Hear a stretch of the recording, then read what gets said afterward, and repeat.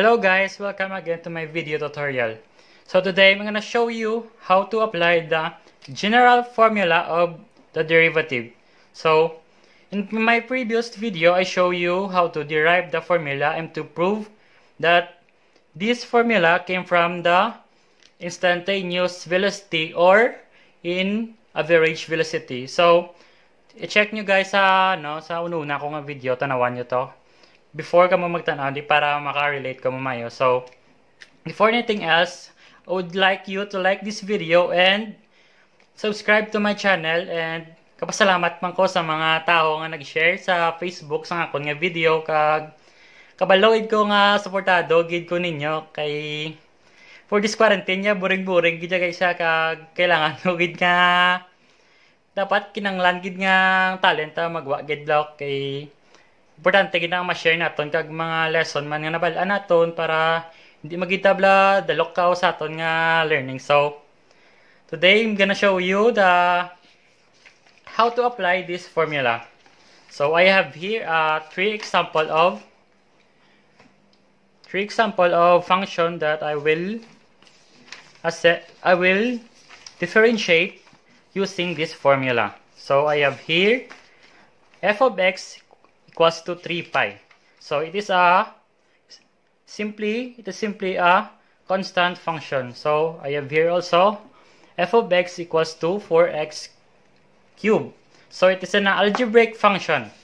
So last, f of x equals to x plus 3 all over 2x, which an example of rational function.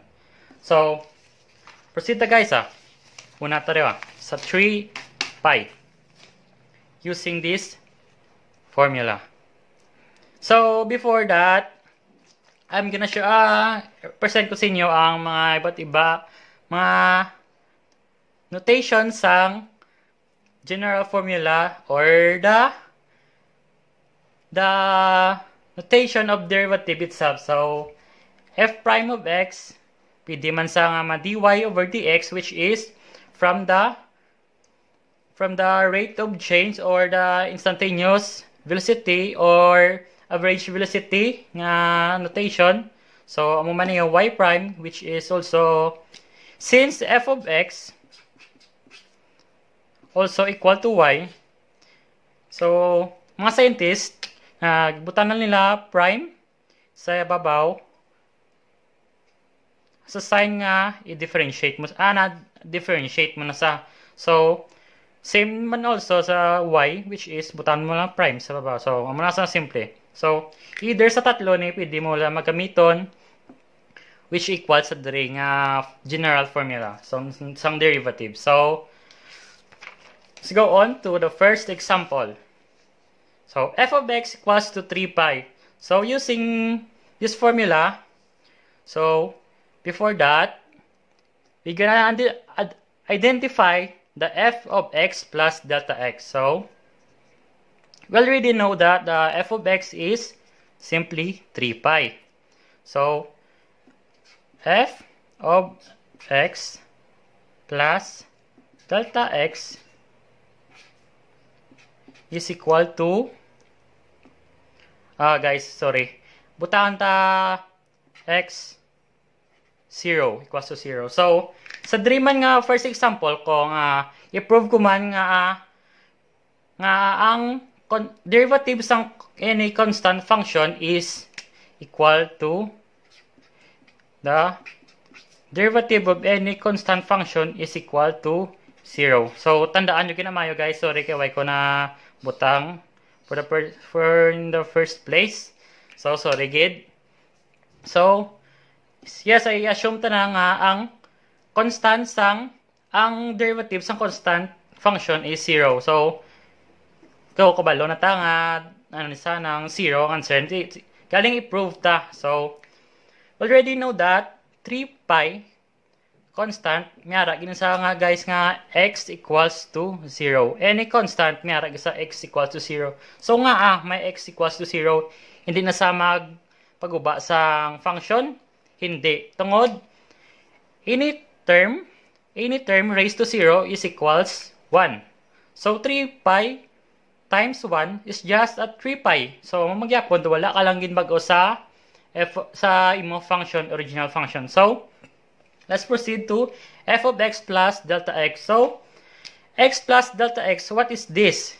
So, kung makarecall ka mo sa inyong function lesson, sa sulod sang f, na may parenthesis, already know that that's an input.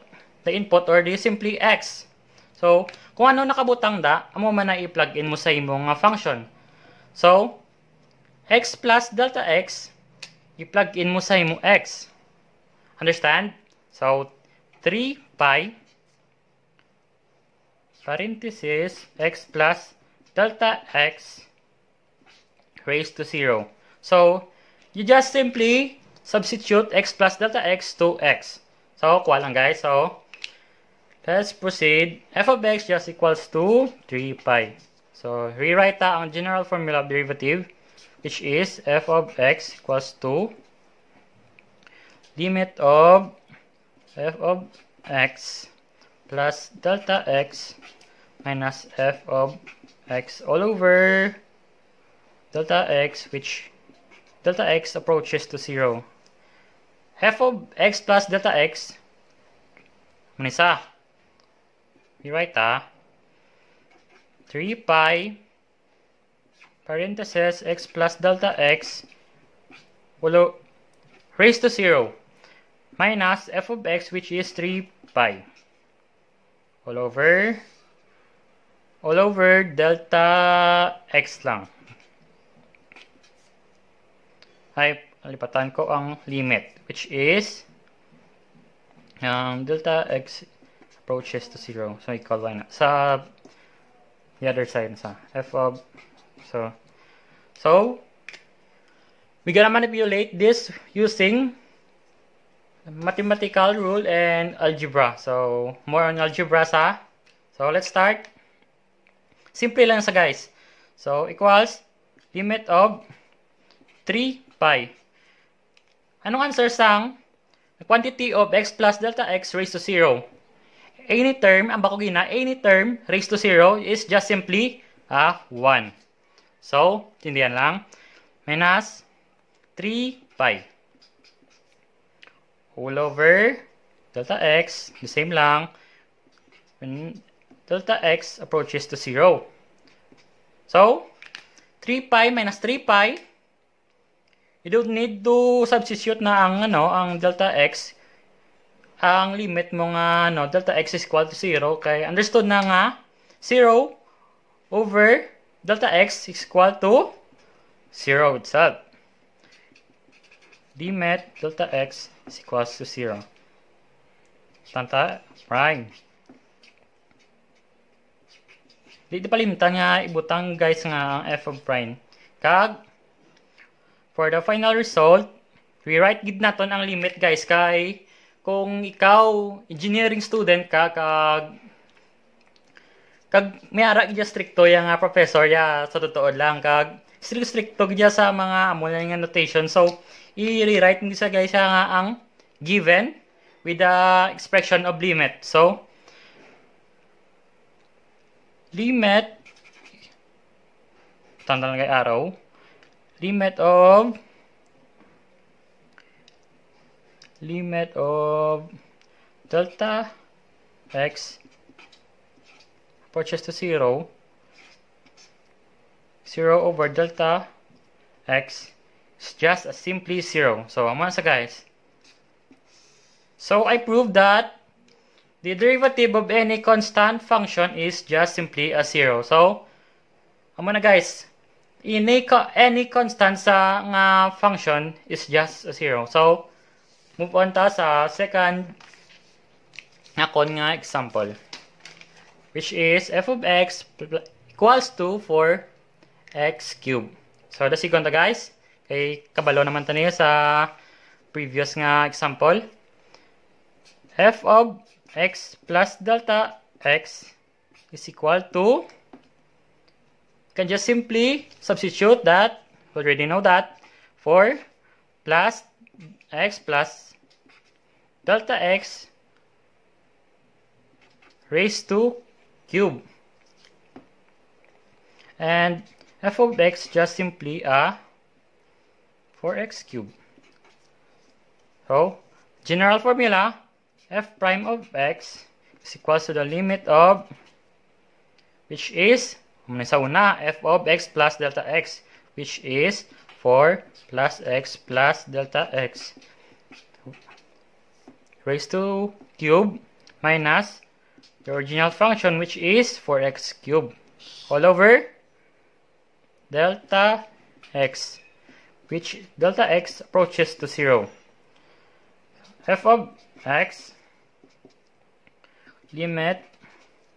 So ano yung monta doon guys so we have here a sum and difference binomial raised to cube so ma-recall nyo lang ang Pascal triangle. So, so kung masaulo nyo Pascal triangle, this is the Pascal triangle guys. So, A plus B is just 1. This is an, the coefficient of every term. So, I'm gonna recall this. Is a Pascal triangle. Okay. Squared, sorry.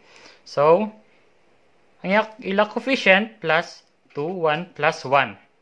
So, sa cube naman is 1 plus 3 plus 3 plus 1.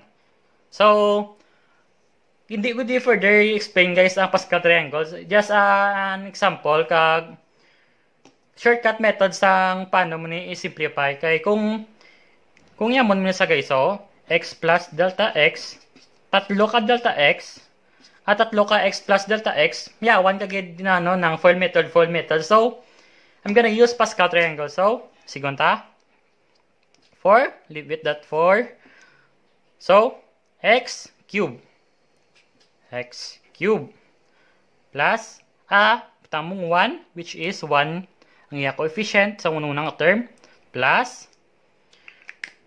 winan mo, exponent ang first term mo which is x squared na lang sa dayon. Matuhaw na ang delta x which is delta x lang. So, drigi na, may, del may delta x ni sa pero raised to 0 which is 1 gyapon so hindi ko na pagbutang. So, 3, I have 3 plus i-reduce mo lang guys ang exponent, i-reduce mo ang exponent sang first term, kag ipatason mo ang or rather, i-increase mo ang exponent sang second term. So, butata ng 3, padasig. So, x, delta x squared. So, muna sa plus x raised to 0, wala na sa 1. Delta x lang bilhin, which is delta x cubed na lang sa. So, muna sa, rewrite na lang ang minus 4x cubed all over delta x when delta x approaches to 0. So, we need space guys. So, dre sa ma, drita ma, sugod. Limit of, so ano tayo ni mo on?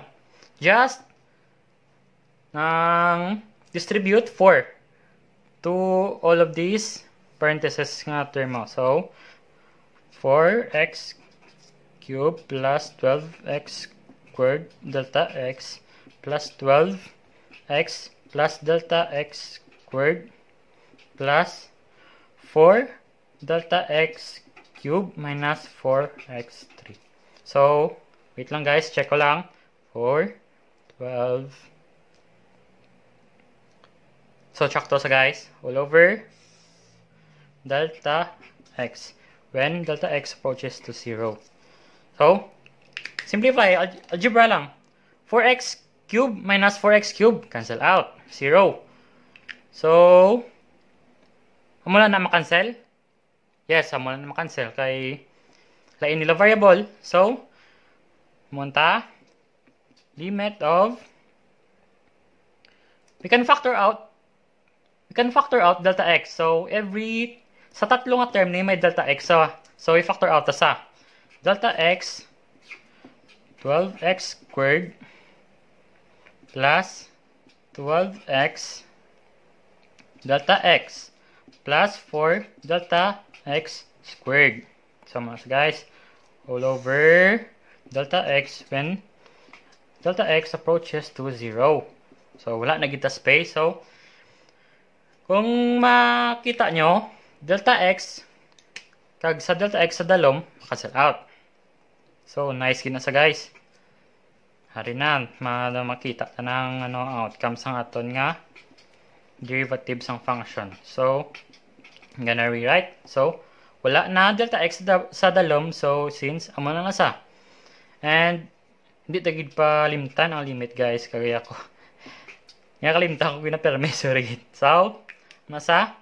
So, hindi ta na ma-further ma-further nga simplify. So, we can plug in our limit. So, pwede ta na i nun, i pwede ta i solon lang, i mental ta lang. So, limit, substitute mo ang delta x eh, in every delta x sa function. So, delta x which equals to 0. So, 12x squared, wala sa delta x. So, stay lang sa 12x squared plus 12x, delta x. Substitute mo 0. 0 times 12x which is 0 sa 0. 0 squared times 4, 0. So the final answer is limit of limit of 12x squared when x is approaches to 0. So, ang answer guys.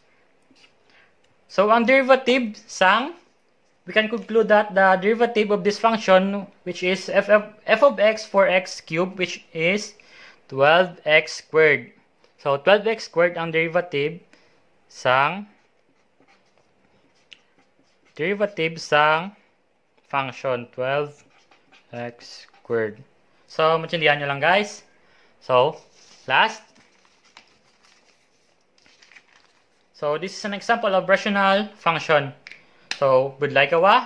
So, di gyapon budlay. So, ano lang sa challenging sa pero nami sa kay more algebra nami ako sa algebra. So, sigon f of x plus h is equal to and every x substitutan nyo lang sang x plus h. Ah, sorry guys.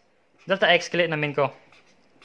Kaya naanad ko sa delta x, kinasulat ano, ng h. Kaya isang senior high ko muna ng h ginada sa. So, pwede mo sa biskan ano lang variable since variable is just an arbitrary arbitra arbitrary thing. So, plus 3 plus uh, all over 2 x plus h and minus with the original function which is 2 plus 3 over all over 2x. All over pagid guys nga sang delta x. Ay, sorry guys. Sala-sala. Gindiretso ko na lang ano, indiretso ko na lang ang general formula. So, uh, ano, general formula na ni sorry sorry gid kay nga madali ko. so, delta x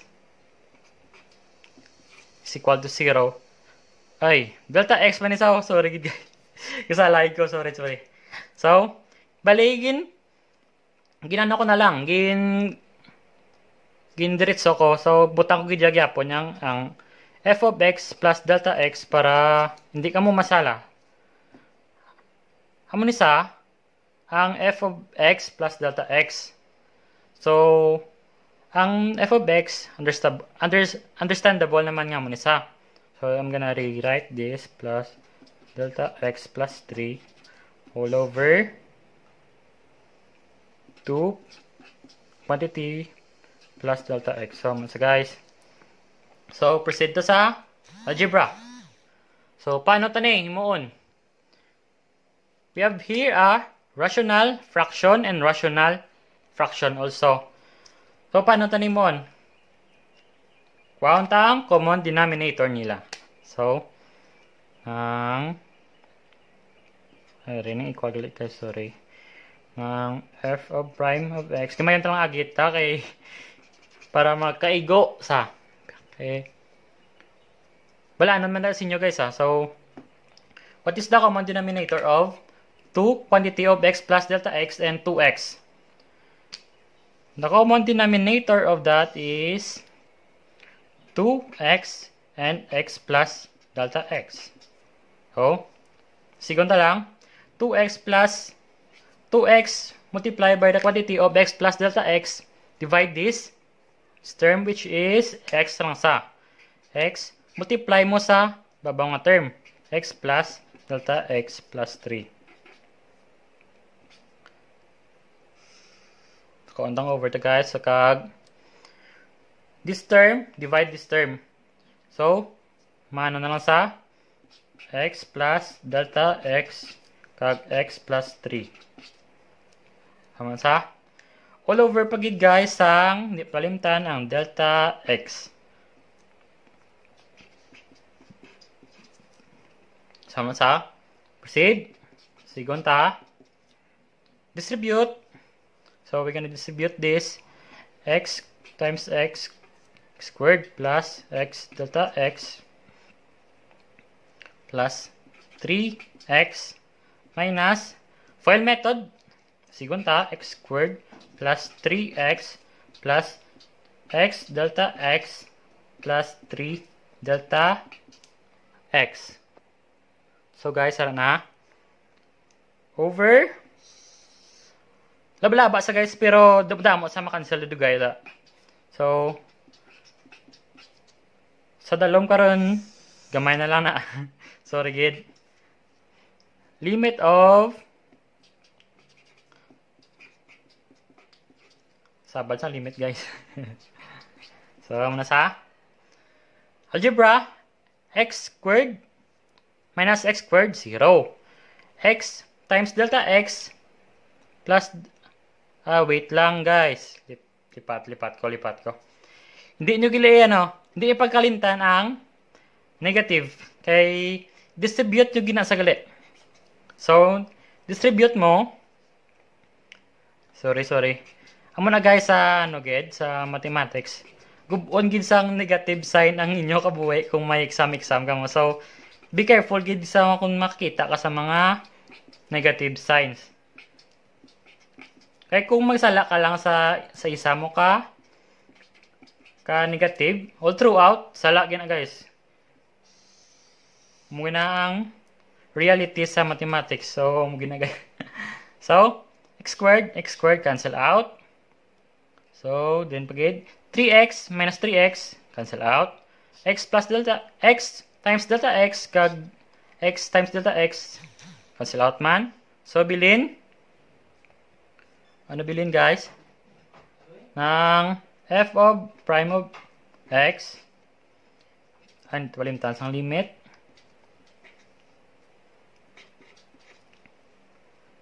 limit of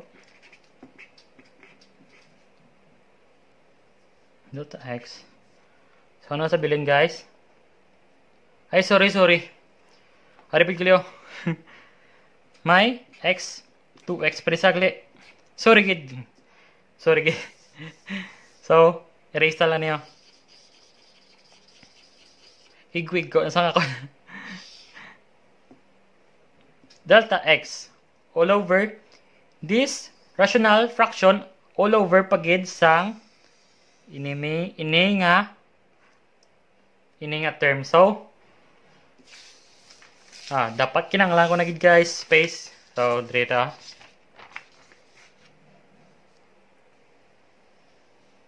rewrite ta guys ang are para klaro sa aton so rigid sa akon nga agi damo ga reklamo sa akon guys sa akon sa akon nga agi sa since senior high pa Kag since high school, laway gyagi ko guys sa totoo lang. Pero try ko gyud best kuya pangarap na mion gid ni kag machindihan ni mayo. So, di na ta. So, bilin di sa babaw is negative 3 delta x over 2x x plus delta x. all over pagid sang delta x. So,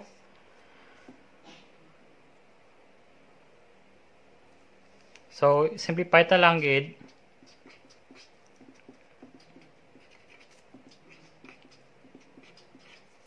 So, ano yung monta? We we've noticed this, delta x and delta x sa babaw makancel out. So, amo ni sa guys, so.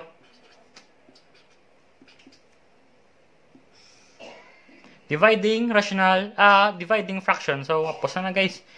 Nang dugay na na, nang grade 8 pa lang. Kabalo na tana. So, 2x delta x kag x plus delta x. Sa delta x cancel out and hope nga last na lang ni nga solution.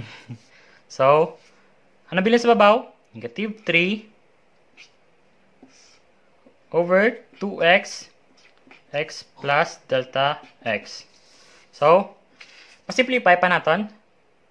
So, Matsyag ko, hindi na. So, substitute ta ang limit nga 0. Delta x approaches to 0. Ano na, ariyan ta guys. Delta x equals to 0. Delta x is 2x quantity of x plus which is 0. So, we can come up and the answer of negative 3 So, 0, pabayaan ta. 2x times x, just at 2x cube. So, guys, amo na na. Amo na answer sang Wait. Amo ni ang answer or amo ni derivative sang third problem nga function. So, ini nga function, this function, kung i kung i-differentiate mo sa, ini makuha mo nga answer. So, negative 3 over 2x cube. So, muna na guys. So, thank you gid sa pag tanaw sa akong video. So, mas lawig-lawig sa gawa sa sa previous ko nga video nga which is ang ununa ko nga video. So, thank you gid sa tanan nga nagtanaw. So, kung may sala ko guys, please correct me in the in the comment or comment down below kung may na mislukan ko nga mga nga not calculation. So, calculation. So, sorry guys sa mga agi ko kag sa mga mistakes ko. So, thank you gid sa pag tanaw. God bless.